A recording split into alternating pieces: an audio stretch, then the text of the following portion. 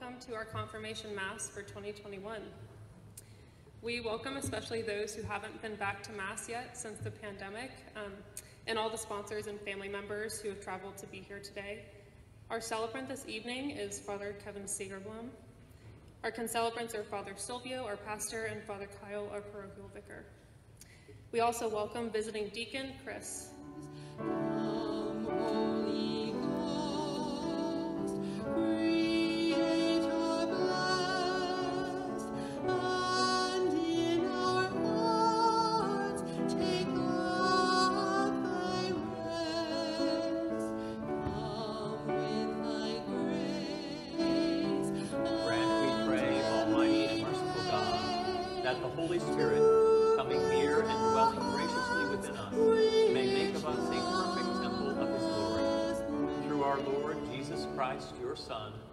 Who lives and reigns with you in the unity of the Holy Spirit, God, forever and ever. Amen. While meeting with them, he enjoined them not to depart from Jerusalem, but to wait for the promise of the Father, about which you have heard me speak. For John baptized with water, but in a few days you will be baptized with the Holy Spirit. Alleluia, alleluia,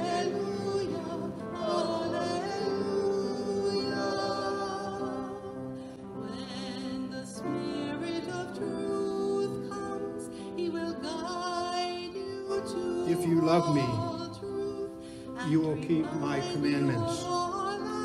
And I will ask the Father, and he will give you another advocate to be with you always, the Spirit of truth, which the world cannot accept, because it neither sees nor knows it. But you know it, because it remains with you and will be in you. The Gospel of the Lord.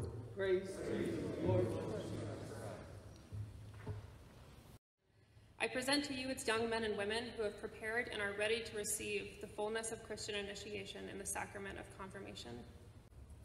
Wendy Alberto, Jacob Amberg, Casey Ayala Delgado, Rebecca Bowman, Brian Cruz Macedo, Asayala Sparsa, Adi Granados Garcia, Grace Gardner, Ross Utica, Mary Catherine Kirkwood, Claire Kerwin, Brenda Lamas, Mario Lamas, Stephen Lewis, Yesenia Lopez Hernandez, Emelisabel Macario Lopez, Eddie McGill, Jonathan Martinez, Soliana Marin, Jessica Monroy Ponce, Jonathan Monroy Ponce, Jose Nunez Vargas, Luis Rodriguez Perez, Peter Rudmin, Stephanie Sanchez Nava, Fernando Sierra Perez, Amelia Taylor, Wyatt Taylor, Dylan Taylor, Faith Taylor, Jorge Villeda Olguin, Andrew Warner, Gildana Weldu, and Jonah Witter.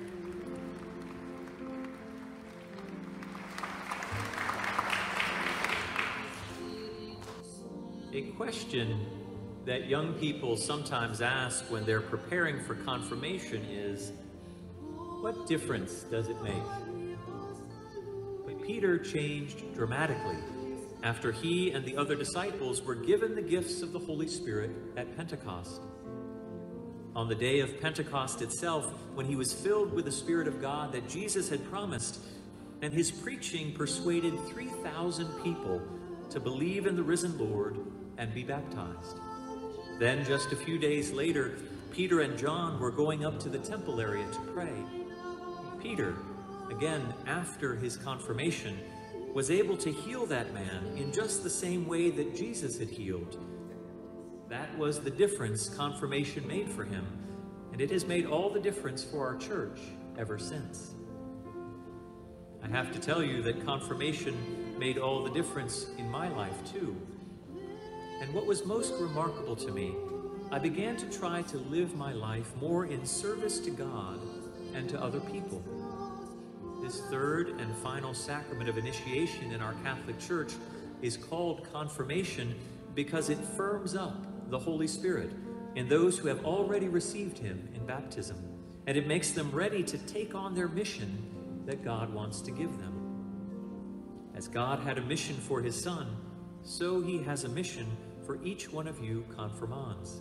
You are all called to be servants of God, just as Jesus was. God has chosen you and is pleased with you for trying to do his will with your whole lives.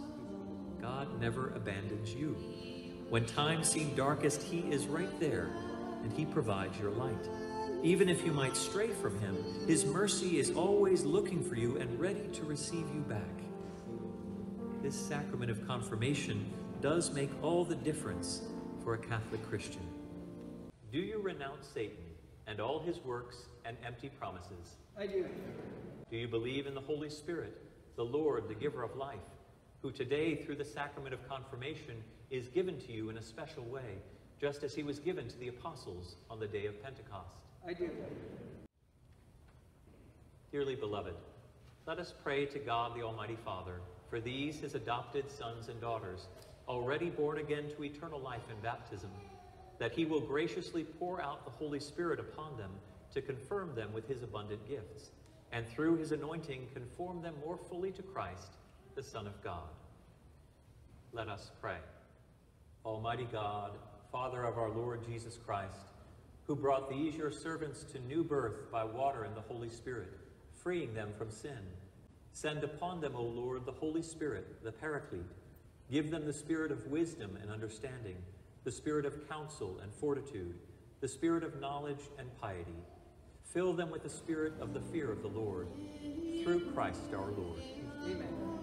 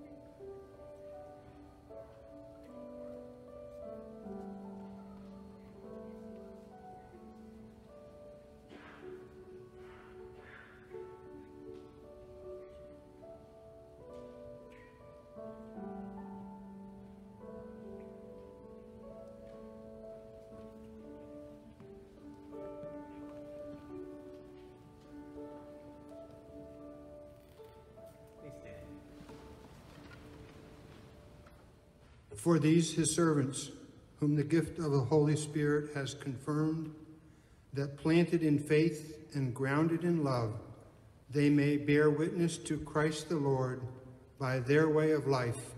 Let us pray to the Lord. Lord, hear our prayer.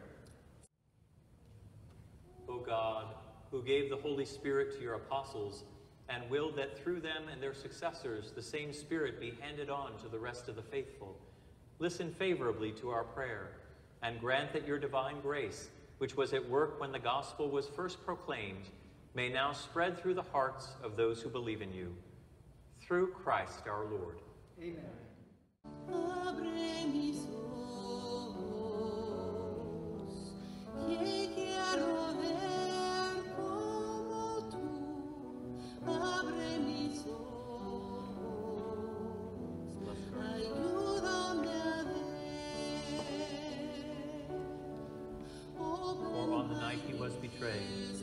Himself took bread, and giving you thanks, he said the blessing, broke the bread, and gave it to his disciples, saying, Take this, all of you, and eat of it, for this is my body, which will be given up for you.